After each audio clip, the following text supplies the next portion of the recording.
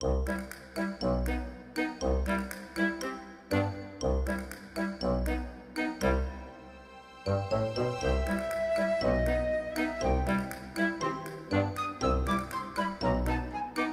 my beautiful lovelies. It's Emmy. How are you? It's great to see you and welcome back. Today's video is sponsored by Helix Sleep, the makers of premium mattresses and bedding that are customized to fit your needs and conveniently shipped right to your doorstep.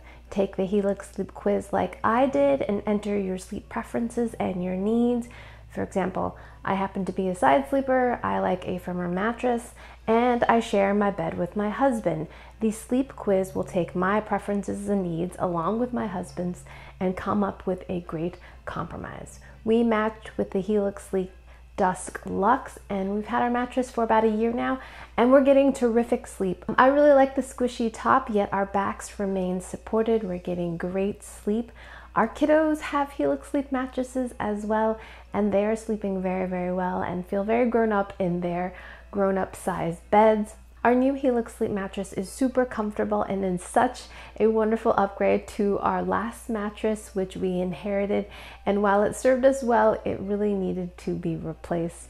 What I also really like, besides the comfort of Helix Sleep mattresses, is the fact that they arrived rolled up in a cardboard box, super easy to maneuver up narrow set of stairs like we have, and I was able to install the mattress myself. So ordering a mattress online might feel a little bit weird, but Helix Sleep offers a 100 night sleep trial. If you're not happy, they will pick it up and give you a full refund.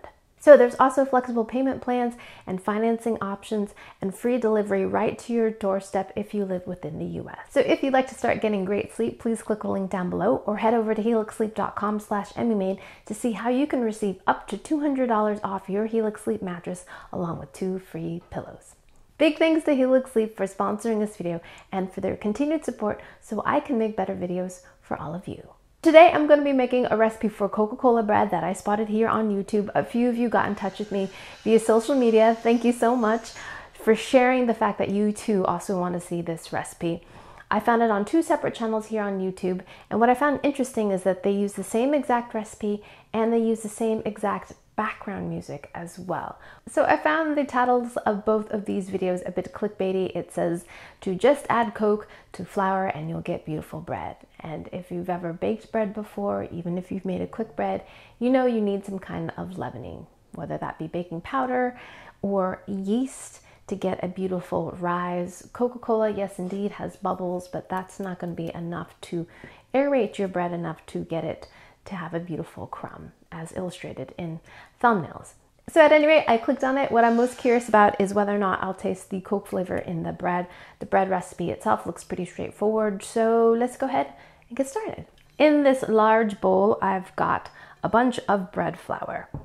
You could probably substitute all-purpose flour as well. Bread flour has more gluten in it. It's gonna give you a chewier bread. Gluten is the protein that's in flour, wheat flour. Yeast. This is dry active yeast which is different than instant yeast, but they are convertible. There are little converters you can find online.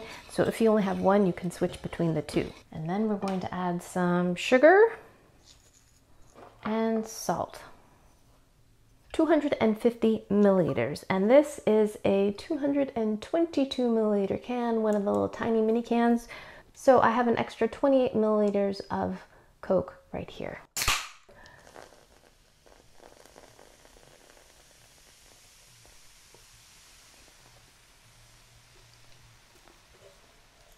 My extra 28 mils.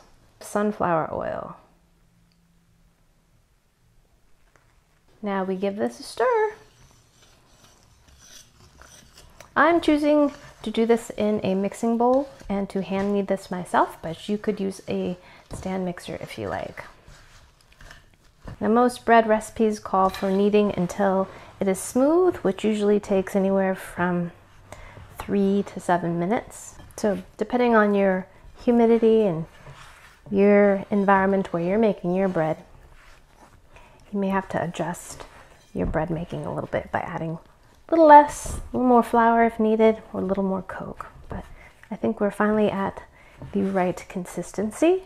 So just after a couple minutes of kneading, the dough ball is nice and smooth and really easy to manipulate, nice and supple. Same bowl I mixed everything in with a little bit of oil and the top of the dough ball as well, just so it doesn't dry out. I've got a flour sack towel that's really well wrung out.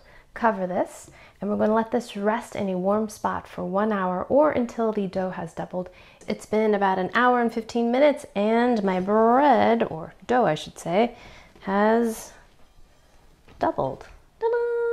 Dump this out and we're going to degas it a bit and we're going to divide this into six pieces. Stretch, tuck under, stretch, tuck under, like that. Do that for each one of these. I'm going to keep them covered so that they don't dry out. And now we're going to shape each one of these balls. First, we're going to just roll this out. And I've never done a six-stranded braid before. I've made a challah once, which is a lovely braid, but I believe it was a four-stranded braid. If your dough doesn't want to cooperate and roll out, let it rest for five minutes or so. And we're going to roll this up into a cylinder.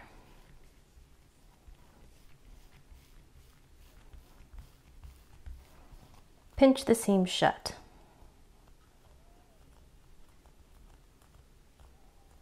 I've rolled out all the dough and I've stretched them out a little bit and they are about 14 inches long.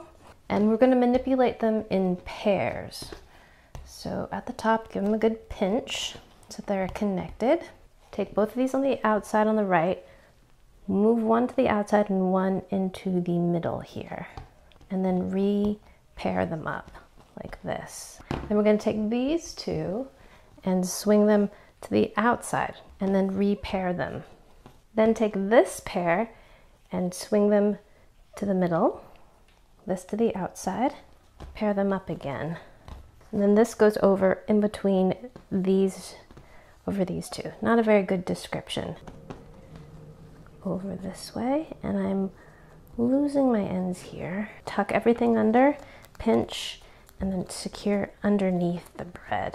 Oh my gosh, so stinking cute. I am so pleased. Okay, now I'm gonna place it on my pan here. Now we're gonna recover this and let it sit for about a half an hour or until this poofs up and doubles in size. And then we're gonna bake it at 370 degrees for about 30 to 40 minutes or until the internal temperature is about 190 degrees. We'll let it cool a bit and then we will taste it. Oh, before we bake it, we wanna beat up an egg and give it a nice good egg wash and that will give us that glorious golden shiny surface. Alrighty, my lovelies, I'll see you in a little bit. Alrighty, my lovelies, here we have it, bread that has been made with Coke. And I have to say, this is my first time braiding with six strands, and I am so pleased. It turned out beautifully, so beautifully, and it's not as hard as you might think.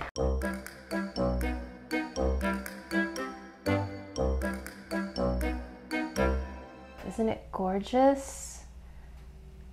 Egg wash, I tell you, egg wash makes your bread look beautiful. It's still warm. I know technically you're supposed to let bread cool off before you cut it, but nope, not doing it. I'm gonna, well, it's been out of the oven for about 10 or 15 minutes, but I'm gonna eat it warm because warm bread, because warm bread, yes. Peel the parchment off. That is the bottom, looks gorgeous.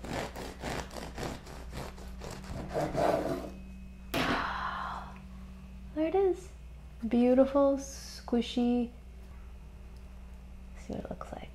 So it has a slight tan color to it and it's steamy hot. Let's give it a taste. Itadakimasu.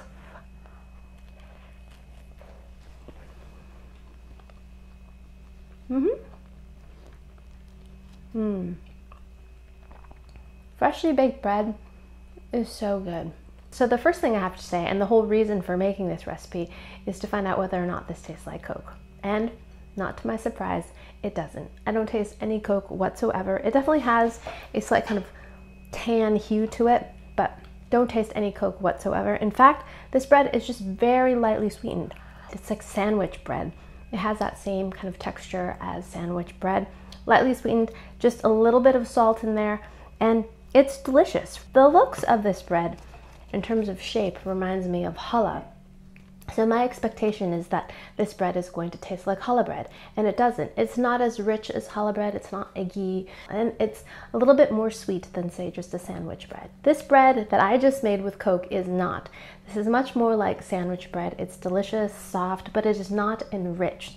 So it doesn't have that kind of egginess or richness or extra added sweetness at all. This is purely just for sandwich bread or with cheese or however you would like to have a loaf of hot bread right out of the oven. Mm-hmm. Alrighty, my lovelies, indeed, you can make bread using Coke and it will not taste like Coke, but you can have a novelty of knowing you did put Coke in it. Alrighty, thanks so much for watching and big thanks to Helix Sleep for sponsoring this video. If you'd like to get a Helix Sleep mattress for yourself, please click the link down below or head over to helixsleep.com slash emmymade to see how you can receive up to $200 off your Helix Sleep mattress and two free pillows. Thanks again for watching. I hope you enjoyed that one. I hope you learned something. Please share this video with your friends. Follow me on social media, like this video, subscribe, and I shall see you in the next one. Toodaloo, take care, bye!